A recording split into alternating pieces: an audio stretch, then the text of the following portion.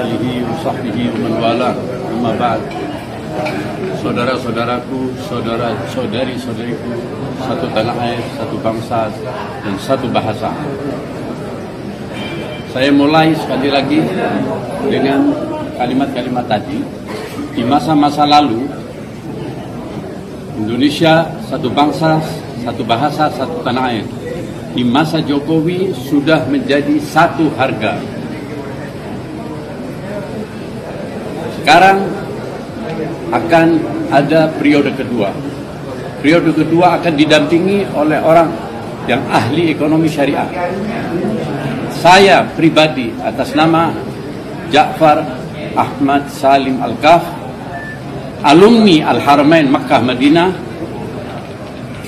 yang keluar dari Makkah Madinah pada tahun 86 telah mengenal Bapak Kiai Haji Dr. Profesor Ma'ruf Amin setelah saya menikah dengan keluarga Empang Bogor yang mana keluarga Empang Bogor Habib Hussein mempunyai istri dari Banten. Saya sering diajak untuk pergi ke daerah-daerah Banten terutama di waktu saya setelah dijadikan asisten untuk mewakili dakwah di daerah Banten daerah Maulana Hasanuddin. Saya banyak sekali untuk bertemu dengan Bapak Kiai Haji Ma'ruf. Amin. Dan pernah waktu itu satu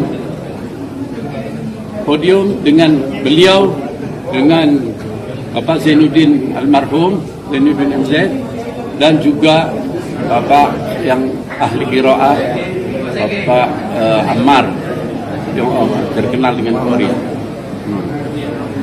Saudara-saudara, saya yakin bahwa periode yang akan dilaksanakan pada pemilihan yang akan datang ini 19 2019 Jokowi setelah didampingi oleh Bapak Kiai Profesor Dr.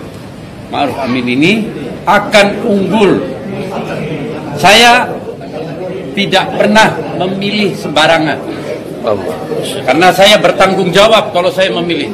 Tetapi saya anjurkan keluarga saya kali ini bukan saya sendiri, biasanya masing-masing. Kali ini saya menganjurkan kalau kalian mau memilih silahkan milihlah orang yang dikenal dengan Jokowi dan kebetulan dari kalimat Ja'al Qawi datang orang yang kuat didampingi oleh orang ma'ruf Amin, terkenal dengan amanat. Jadi silahkan Anda kalau menginginkan Indonesia ini damai, aman seperti yang sudah-sudah ini, insya Allah dengan dipilihnya nomor one, nomor satu, nomor wahid, Anda insya Allah akan lebih bahagia. Amin. Jokowi tidak mengenal siapa pun, tidak kenal lawan dan kawan. Semuanya dia hambat. Demi apa? Demi bangsa dan tanah air dan keutuhan dan persauta, persatuan dan persaudaraan yang kuat. Begitu juga Bapak Ma'ruf Amin dengan mendampinginya dan dan dipilihnya oleh Bapak Jokowi itu akan menjadi satu kekuatan yang lebih.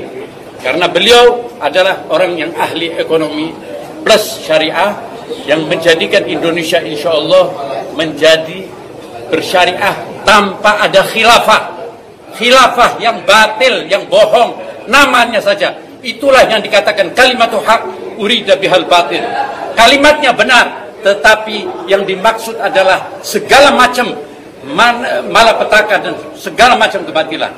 Oleh karena itu, bangsa Indonesia yang ingin bahagia, tentram, dan selamat dunia akhirat, saya yakin ada di nomor satu.